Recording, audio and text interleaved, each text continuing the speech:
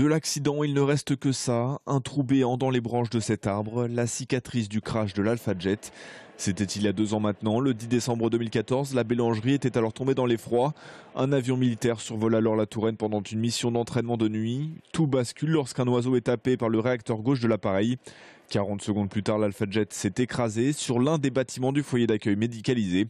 Deux ans après, les travaux de reconstruction ont très bien avancé. À une centaine de mètres de l'ancien emplacement, la nouvelle structure a pris forme.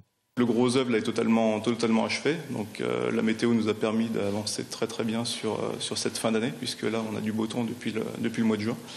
Et là on est sur la partie purement technique, euh, sur les finitions, qui elles-mêmes avancent très très bien grâce, grâce aux entreprises. En tout, 14 entreprises auront été mobilisées pour la reconstruction du bâtiment, un travail minutieux qui devrait permettre une livraison dans les temps en mars 2017, le tout financé par le ministère de la Défense à hauteur de 3 millions d'euros.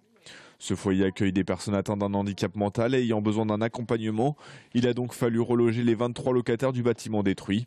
En attendant la finalisation des travaux, ils ont donc été déplacés à l'hôpital de Château-Renaud.